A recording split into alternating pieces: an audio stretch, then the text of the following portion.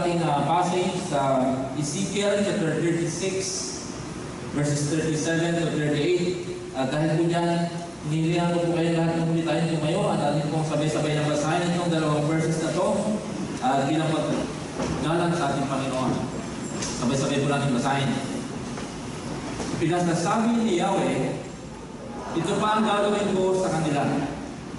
Pagkakalog ko ang hilingin nila sa akin para namihin ko sila tulad ng makapal nilang kawan.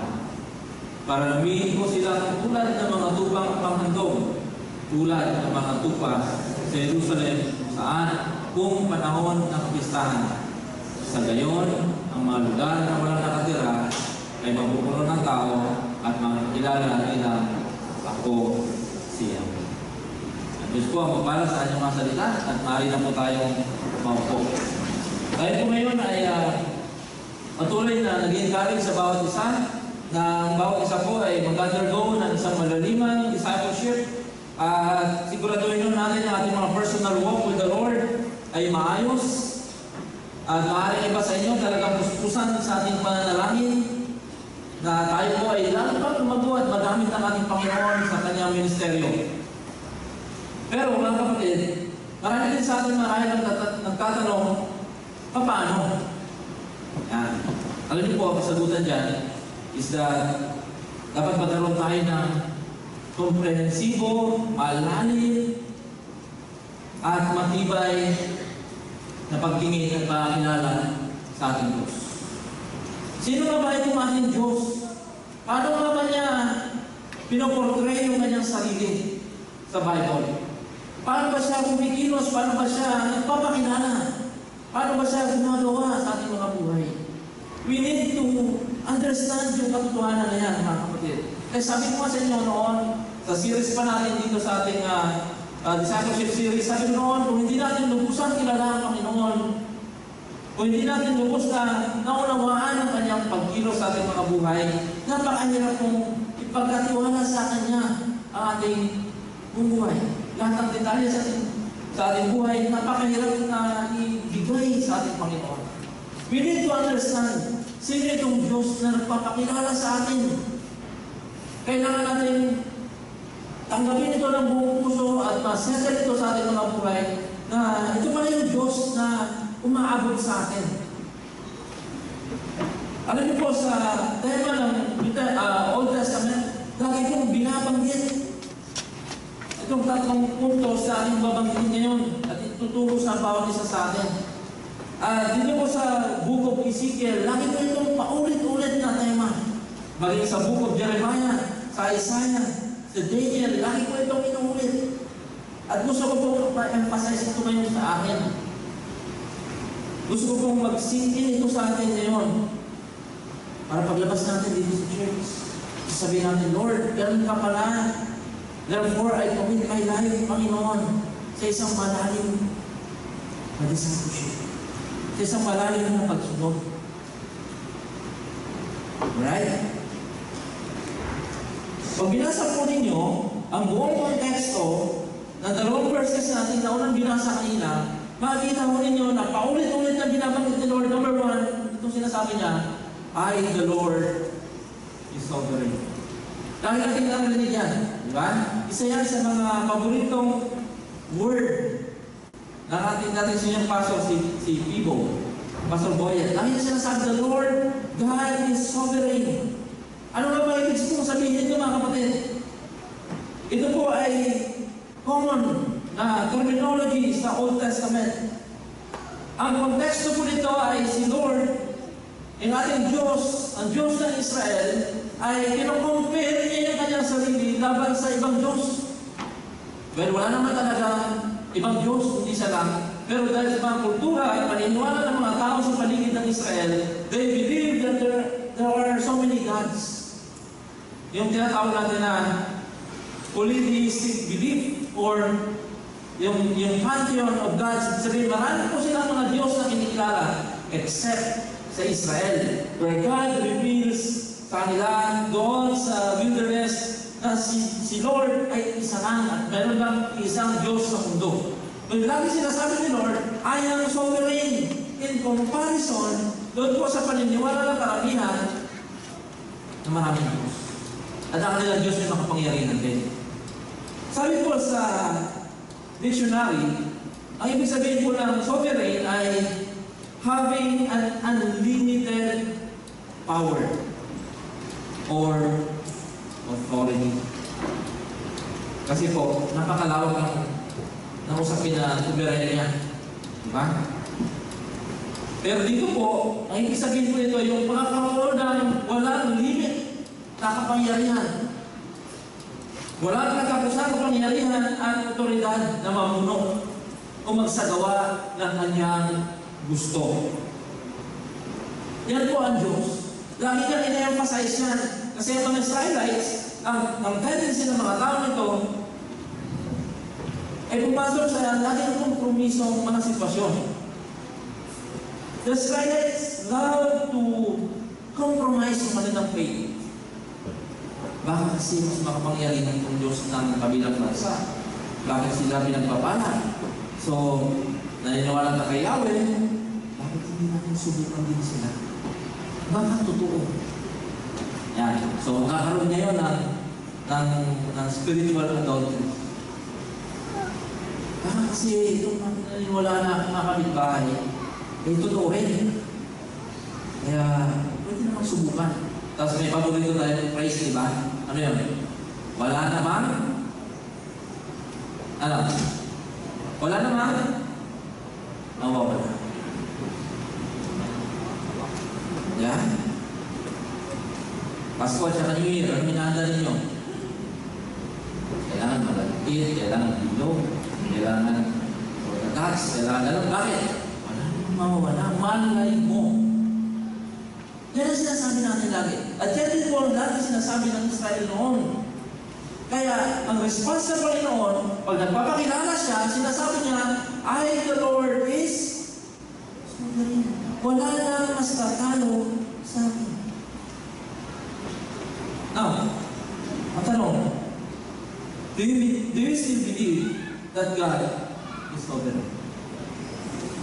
Convinced na convinced ka pa ba sa iyong buhay na ang Diyos ay sovereign sa iyong buhay? Ano po ibig sabihin nito? Do you still believe that God sees the past and the future? Isa po yan sa katangian ng pagiging sovereign ng ating Panginoon.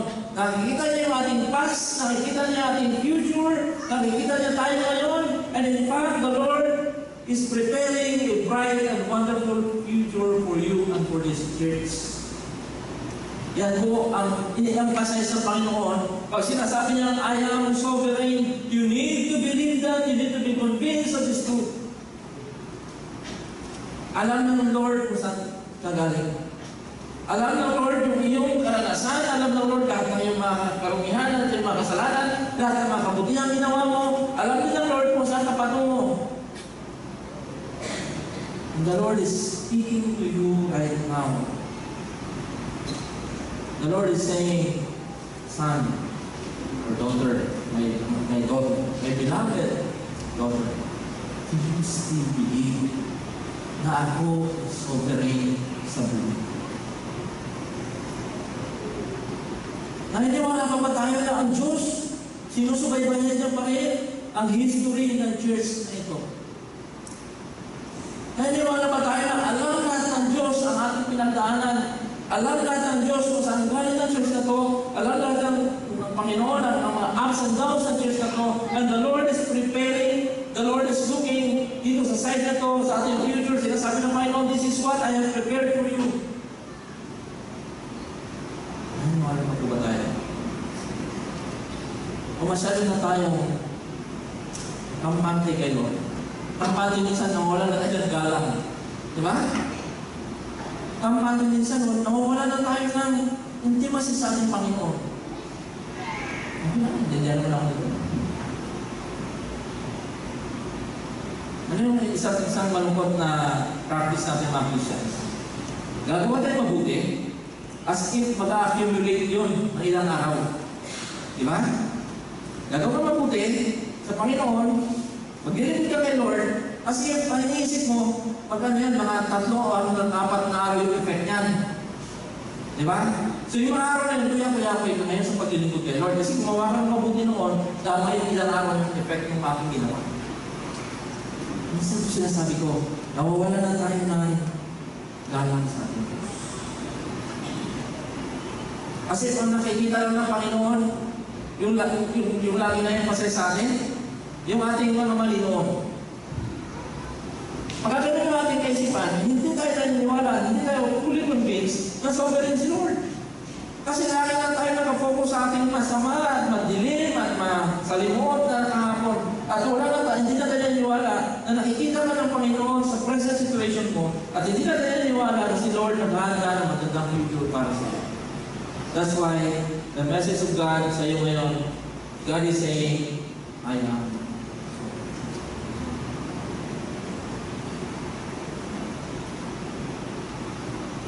Baka may mga aksidente o yung mga malulungkot na balita sa US, ano yung paboritong phrase ni Obama? Nanonood kaya lagi niya lagi niya sinasabi, I feel you. Ramdam ko kayo. No? Ano higit pa dyan ang ating? Kasi ang Panginoon, hindi lang siya nakatingin sa present. Na nakikita niya, sinubaybayan ka niya noon, at nagtatrabaho na si Lord para sa magandang future para sa iyo. Do you believe in that? Naniwala pa ba tayo doon? Now, ito yung aking challenge sa inyo. If you believe that God is sovereign, allow God to speak to us regarding our great past and amazing future. Masabi mo, Lord, Lord, ito yung aking situation ngayon. Hindi ako makausad, Panginoon, kasi lagi ko naalala yung aking past. O kaya naman kaya, hindi ako nakakausad, Lord, kasi lagi akong worried sa aking future. Ano na gano'n? May meron isang, nakalimutan ko yung saktong words na sabi doon, it is the regrets of the past and the worry for future that robs us of our joy sa araw na ito. Kasi hindi makausad. Kasi lagi naalala ang past. Kung hindi naman past, ang lagi tinitingnan, yung harap ng Lord, bakit wala akong tuition fee? Lord, paano ang anak ko? Lord, pa- paano ang future? In that sense, pagkaganyan ng ating kaisipan, the Lord is not sovereign sa atin. So pag sinabi ng sovereign ng Panginoon, alam ni Lord lahat. Walang nakakaligtas sa mata ng ating Panginoon. Pag pinansin niyo po yung verses 2 to 7 ng 36 ng Ezekiel, makikita niyo po dyan. Sayin mo natin. I, I, I know, dala po ninyo yung mga Bible. Sa mga bago po, nagsa, nag-usap po kami dito noon. Sabi ko sa kanila, pag ako nag-preach, hindi ako maglalagay ng mga verses sa PowerPoint para magdala kayo ng inyong mga Bible. Sabi dito, this is what the sovereign Lord says. The enemy said of you, Aha, the ancient heights have become our possession. Therefore prophesy and say, This is what the sovereign Lord says, because this is what the sovereign Lord says, because they ravage and crush you from every side, so that you became the possession of the rest of the nations, and the object of people's malicious talk and slander. Therefore, mountains of Israel, hear the word of the sovereign Lord. This is what the sovereign Lord says to the mountain, mountains and hills, to the ravines and the valleys, to the desolate ruins and the deserted towns that have been plundered and ridiculed by the rest of the nations around you. This is what the sovereign Lord, says. In my burning zeal, I have spoken against the rest of the nations and against all Edom, for with glee and with malice in their hearts, they made my land their own possession, so that they might plunder its pasture land. Therefore, prophesy concerning the land of Israel, and say to the mountain, mountains and hills, to the ravines and the valleys, This is what the sovereign Lord says. I speak in my jeal- jealous wrath, because you have suffered the scorn of the nations. Therefore, this is what the sovereign Lord says. I will swear with a gifted hand that the nations around you will also Ganyan ang kapangyarihan ng ating Panginoon. Sometimes pinapaalala sa atin ng Panginoon yung ating past upang bigyan din kung gaano kanya inalagaan at paano ikaw ay nakarating sa ganitong sitwasyon. Ang mga Israelis, so, yun ang kanilang naging problema. Lagi silang maalis sa fellowship with the Lord. Kaya minsan natatalo sila. Nagiging exile sila. Nagigirap sila. Kasi nawala yung kanilang paniniwala that the Lord has. Kapatid, kung ikaw ay totoong naniniwala that God is sovereign, then have courage and faith to humbly ask the Lord. Ask Him now, Lord, maging totoo ka sa buhay ko. At maging totoo ka sa church ng Panginoon.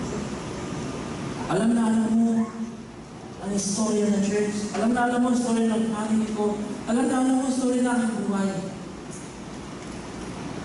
Kung totoo ay kumbinsido tayo ngayon ng ating Panginoon ay lubhang makapangyarihan at alam niya, nakikita niya lahat ng mga bagay, Usapin natin ang Diyos. Pakinggan natin siya sa bagay ng mga.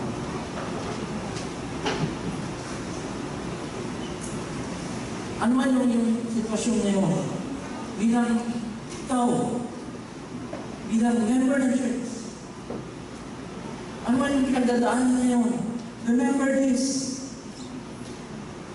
The Lord, our God, is a sovereign God. Ang Diyos, alam niya lahat, nakikita niya lahat. Hindi, hindi pa kumbinsido na si Lord kaya niya i-provide ang mga pangailangan. Hindi ka pa kumbinsido na si Lord kaya na niyang dalhin sa isang magandang future.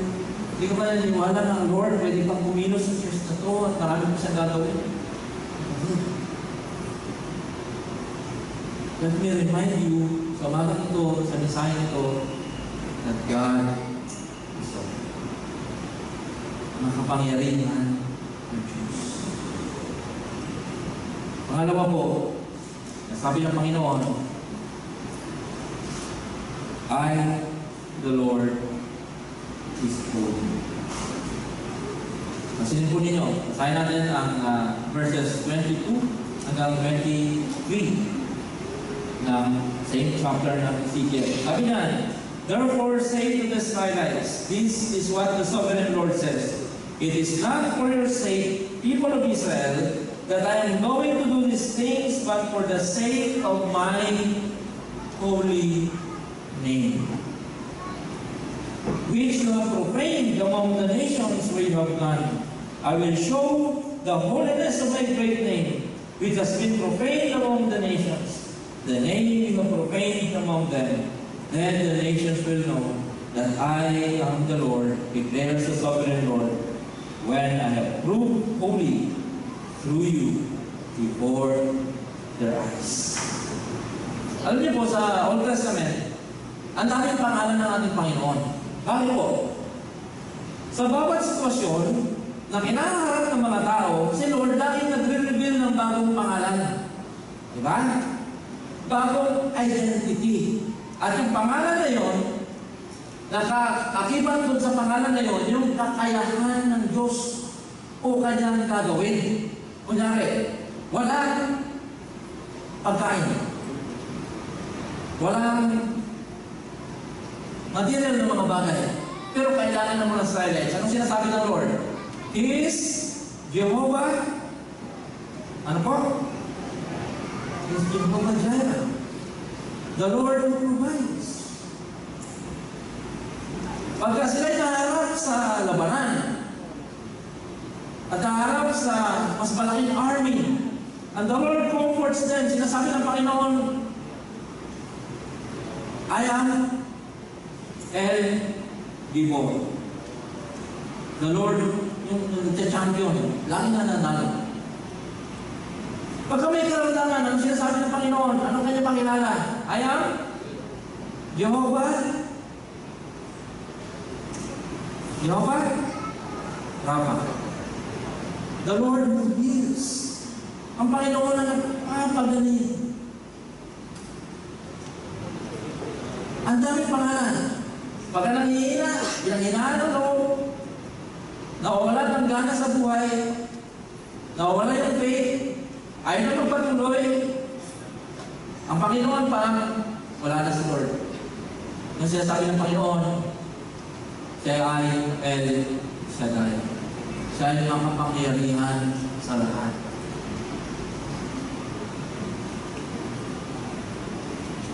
Nung iniwan ni ng nanay ni Ismael, pangalan nun? Hagar. Yan. Yung bata, mamamatay na doon. And the Lord sees that. The, the Lord just came to He saved the child. Anong tawag doon? El Roy. R-O-I. Sabihin, the God who sees. Marami po mga pangalan ng pagkain. Ating mababasa doon. Eh sinasabi ko nga, yung pangalan ng Diyos, kakakibat doon yung kanyang gagawin o kanyang kakayahan. And God is always with us. And He tells us, sinasabi sa atin ng Panginoon na siya ay superior over the circumstances that we face.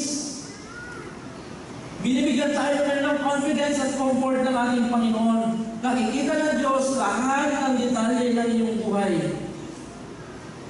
Kung ganyan ang ating Diyos, He requires na tayo po ay mag-respond in faith to whatever happens around us. Ano ang sitwasyon natin ngayon? Magtiwala tayo sa kakayahan ng Diyos. Kasi ang pangalan ng Panginoon ay holy. Ang pangalan ng Panginoon ay makapangyarihan. Ang Diyos natin maraming pwedeng gawin. Sa issue na ito mga kapatid, nahulog ang Israel na naman. Israel failed to put their wholehearted devotion sa ating Panginoon.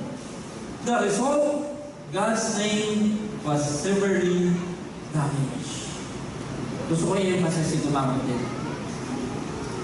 Sa dami ng pangalan na binigay ng Panginoon, sa bawat sitwasyon ng tao, meron binigay ng pangalan si Lord. If you fail to recognize yung bagay na yun, yung pagkilos na ng Panginoon, we profane His name. Ulitin ko lang po. Ano ang sitwasyon mo ngayon? May pangalan dyan si Lord. Anong sitwasyon mo ngayon? Mayroong gagawin si Lord, ini-introduce niya ang kanyang sarili. Wala kang pera, pero kailangan mo. Wala kang panggastos. The Lord says, Jehovah Jireh. And says, Lord, the Mumbai are more reliable than you are. Then we profane the name.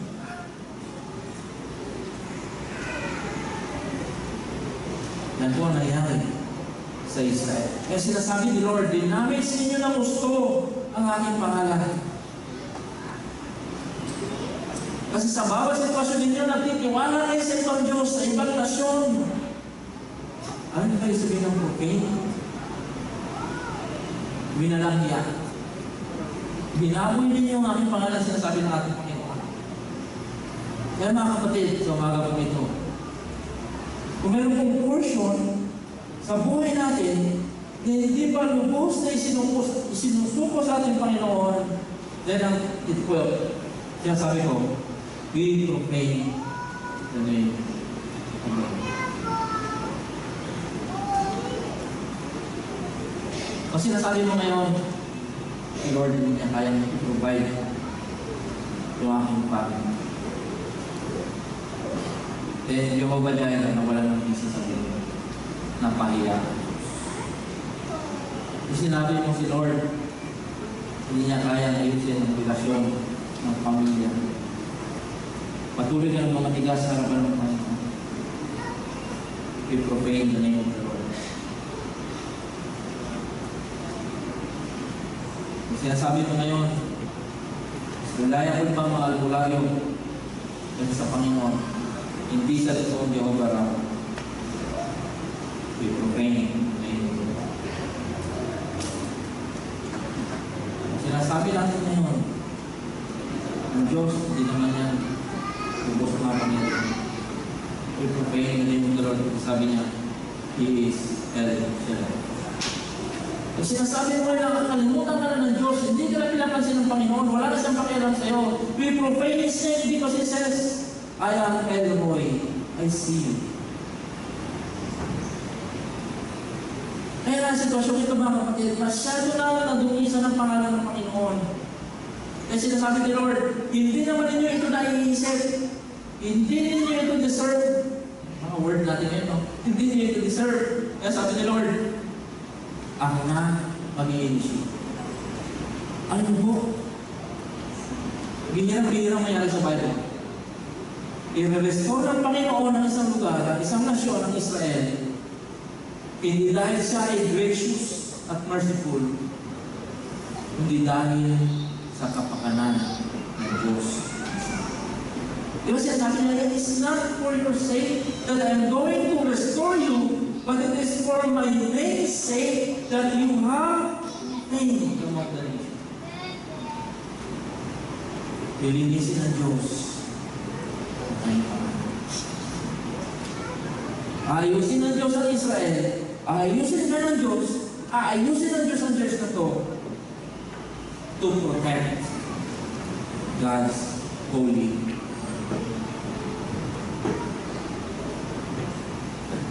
Ano ba ang buhay mo ngayon? Kasi nasabi mo, wala na pag-asa at wala na pwedeng gawin si Lord. Kapatid, magandaan ka dyan because you God's laws.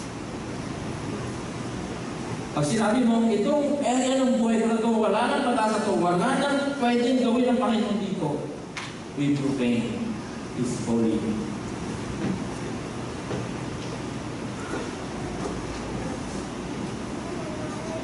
In verse 23, very powerful. Sabi dyan, God is acting not because of His mercy and His grace, but because of His name. Let us be Ang tanong ko sa inyo, kapatid, how is your private life? Kung nag-iisa ka, wala kang ginagawa, kinisira mo ba ang kamanalan ng pangalan ng Panginoon? Or nabibuild up yung presensya ng Diyos? Nakikita ang pagkilos ng Diyos sa buhay? Kumusta ang iyong testimony sa paligid? Kumusta yung buhay mo? Napagkakatiwalaan ka ba? Pwede ba ilagay sa iyo ang isang bagay? Pwede ba ipagkatiwala ni Lord sa iyo ang isang bagay? Pwede ba ipagkatiwala ng Panginoon sa iyo ang isang ministry? Ha? Pwede ko yun ha, sabi ko kasi kanina, minsan sa tagal na natin naglilingkod, tagal na natin sa church, minsan parang si Lord, ano na lang, you know, nawawala na yung wall, di ba? Masyadong pamilya na tayo kay Lord, parang nawala na yung awe, nawala na yung respect, nawala na yung adoration kay Lord. Pagka may problema, agad-agad sinusolusyon na natin kasi meron tayo. Hindi na tayo nag-pray. Pagka meron tayo nakikita, maliit na mga bagay na maaaring mag-disrupt sa, sa, sa takbo ng family o sa business o sa trabaho, agad-agad tayo kumikilos. Hindi na natin nakikinig sa ating Panginoon. Sa ating pamilya ng Lord. Nawawala na yung kapangyarihan ng Panginoon. Nawawala na yung Lord kasi napakabanal ng Panginoon. Kaya alay ko ito sa ang buong puso. Naalala ko sa kwento, isang bata. Dahil uh, laki siya sa Sunday school at yung kanyang mga parents ay talagang mga totoong mga Krisyano. Lagi niya narinig, oh, sumuhawa ka niya, germs yan, germs, germs. Germs yan, germs. Ah, ano naman? Oh, malulungkot si Jesus. Magagalit si Jesus. Dapat kay Jesus yan. No? Natagsawa rin yung bata sabi niya, Germs at Jesus, germs at Jesus. Pareho naman hindi nakikita yung mga yan. Ko tayo. Masyadong familiar na, lagi natin narinig. Oh, si Lord makapangyarihan, si Lord na provide. Tapos hindi na tayo naniwala kasi lagi na natin nagkakaroon ng kalyo yung buhay. Sa puso natin. Pagka nagtuloy-tuloy yan mga kapatid, natutulad din sa Israel. Susumbatan tayo ng Panginoon sasabihin niya, you have profane. Kaya yung mga pangalan ng Diyos na yun, kasama doon yung kanyang kakayangan gumawa sa sitwasyon mo. Pag sinabi mo, lahat Lord kaya mong gawin except this one, wala nang solusyon to. We profane your name.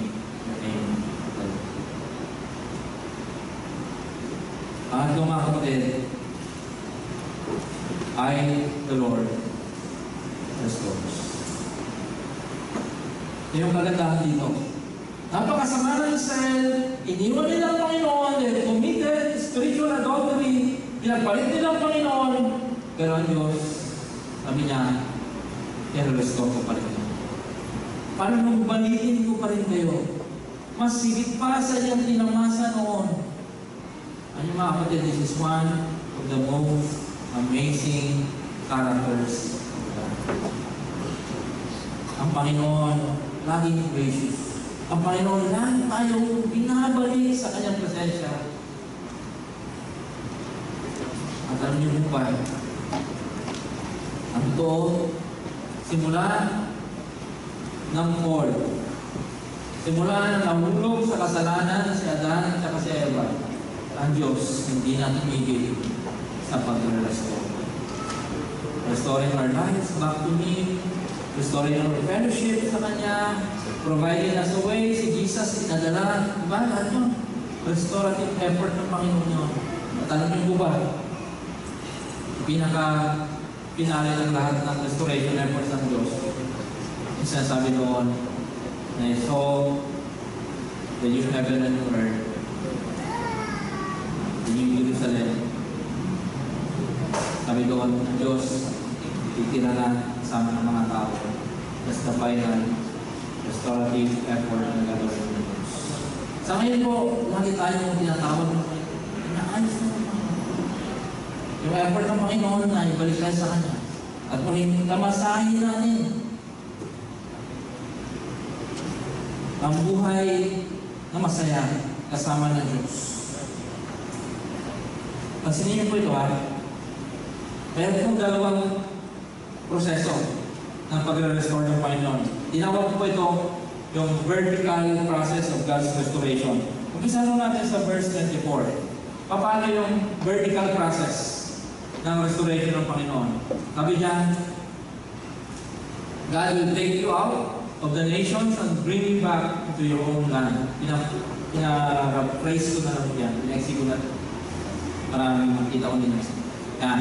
Una, pupunin ka ng Panginoon sa kung saan ka man ngayon. Kung spiritually, kung physically nandito ka, pero spiritually malayo ka na, the Lord will take you out. Tapos dadalhin ka niya kung saan siya. Dadalhin ka niya sa tamang lugar kung saan ka niya ilalagay dapat. Kung saan ka lang umalis doon. Ibabalik ka ng ating Panginoon. Then, verse 25, He will sprinkle clean water. Imagine natin, pag alis natin sa ating Panginoon, gaano tayo kalunod, tingin ng Panginoon. Hindi na sinabi ng Panginoon, kukunin kita, tapos mag ano ka, ayusin mo sarili mo. Aligo ka, ka, ano? Sabi ng Panginoon, ako mismo, I will sprinkle clean water on you. Yung context na yan, mga kapatid, yan yung suggested context ng John 3, 3 verse 5. Yung sinasabi ni Lord, unless a man be born of water and spirit, ang most likely, sabi ng mga scholars, yan yung nasa isip ni Jesus nung binabanggit yung John 3 verse 5. Lilinisin ka ng Panginoon sa iyong karumihan. Nagamit siya ng malinis na tubig. Upang maging malinis ka sa kanyang harapan. Verse 26, God will give you a new heart and a new spirit. That's the vertical process ng pag-restore pagkakas. Yung tumigas na ng puso natin, yung spirit na hindi na marunong makinig sa Diyos, papalitan ng Panginoon. Sabi niya, I will give you a new heart. Ano yung spirit? Ito pa po, verse 27, God will put His Spirit Ganyan mag-restore ang ating Panginoon. Total, complete restoration bibigyan ng Diyos sa atin. Kung tayo na nawala na sa Panginoon, hindi tayo naniniwala na kay Lord, iniwan na natin, ganun-ganun na lang mga ministries natin sa church, iniwan na natin yung ating mga families, hindi na tayo nakipag-usap ng inuman, Dinitouch na natin ang gusto ng ating mga sarili. The Lord is calling you back. May the Lord speak to you right now. Kapatid. Pakinggan mo yung sinasabi ng Panginoon. Kukunin ka niya, irilisin ka niya, bibigyan ka niya ng bagong puso, bagong spirito. Hindi lang yun. Sabi niya, I will put my spirit in you. Yan ang Diyos natin ngayon wala. Yan ang Diyos na walang kapantay. Pero hindi lang po ver- vertical ang pag-restore ng ating Panginoon. Ito pa po yung pinaka-amazing. The horizontal process of God's restoration. Ano yun po yun? Sabi niya, verse 28, sabi niya, You will live in the land. Di ba, exile sila?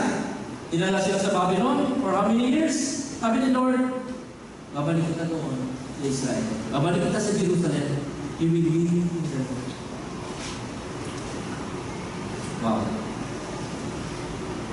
Ng Diyos.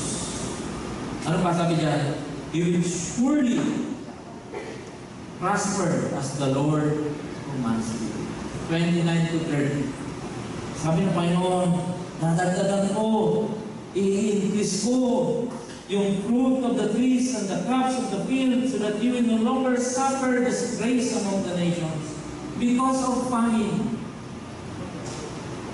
Then you will remember your evil ways and wicked deeds, and you will lose yourselves for your sins and detestable practices.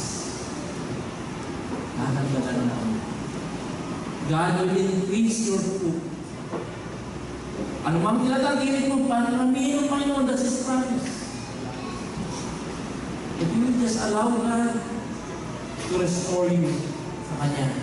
At pa po, mga kapatid, Verse 37, sabi niya, God promised to listen to your plea. I will make your people as numerous as sheep. So, ano yung mahirap dito sa church? Sabi ng Panginoon, pakinggan niyo ang mga hinahin. Para ramihin ko ang mga tao katulad ng mga kupa. Paano sila marami? Para ramihin ko sila. And sabi pa sa 38, God will fill the ruins with people. Yung mga natin sabog-sabog na, yung mga nagkalat na lang, yung mga basura na lang, sabi natin, Lord, pupunuin ko yan ng mga tao. Pupunuin ko yan ng mga bagong mukha. Pupunuin ko yan ng mga bagong spirits, mga bagong souls. Dadalhin siya sa lugar na yun. I, the Lord, restores.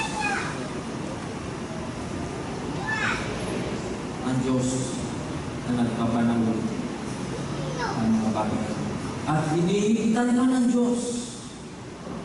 Kung ano yung ating tinamasa noon, ang pangako ng Diyos, higit pa dyan. Bakit ito gagawin ng Panginoon?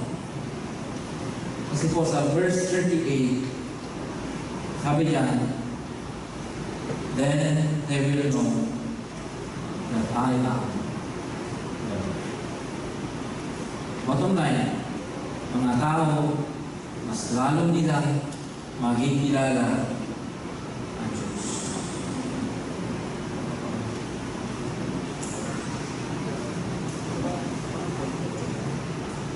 Mga kapatid, lahat ng mga bagay na pinag-usapan natin dito, willing, willing, willing na willing ng Panginoon, gagawin niya. Willing na willing si Lord, iparanas yan sa iyo. Nakahanda rin siyang gawin yan sa church, sa negosyo mo, sa family mo, sa iyong career, sa iyong school, sa iyong family, sa lahat ng bagay sa buhay mo. The Lord is sovereign. The Lord is holy. The Lord wants to restore lahat ng mga nasira sa buhay mo. Because He is a gracious and good Father. Bilang pagkilala sa ating eternal Father sa umagang ito mga. Kung siya'y nandito ngayon, but will you give God His Father's love? Anong ibibigay mo kay Lord sa selebrasyon mo? Lahat, alam ng Diyos sa iyo. Lahat, inihahanda ng Diyos sa iyo. Ngayong lahat, ginagawa ng Panginoon para mas lalo kang makumbinsin na siya nga ang Diyos na makapangyarihan. Kaya ang pangako ng Panginoon sa iyo ngayon, dadalhin kita sa isang saganang lupain para aminin ko ang lahat ng iyong mga. Ipoprovide ko sa iyo. With great abundance. What will you offer God this morning?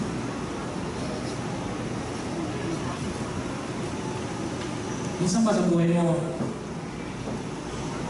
nag-post ka sa iyong pananampalataya, sinasabi mo sa Lord, may mga bagay siya hindi alam sa buhay. May mga bagay siya hindi nakikialaman sa buhay ko. Wala na siyang magagawa dito. Sa buhay mo ba, minsan, ka sa point na hindi ka na naniniwala. May mga simpleng bagay kaya niya gawin, Lord. Inaagapan mo ng agad ng kunting bagay lang. Hindi ka na naniniwala. Hindi ka na provide. Antayin mo lang, the Lord is, He is Jehovah Jireh. He knows how to provide. Guilty of that?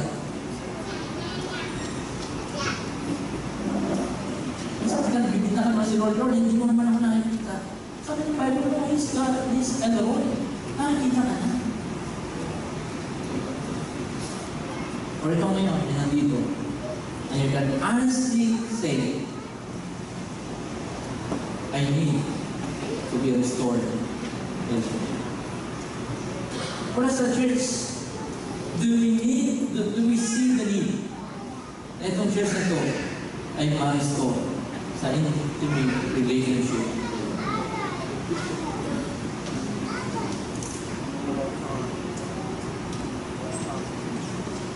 Ito yung mensahe ng Panginoon. Nakahanda siyang gawin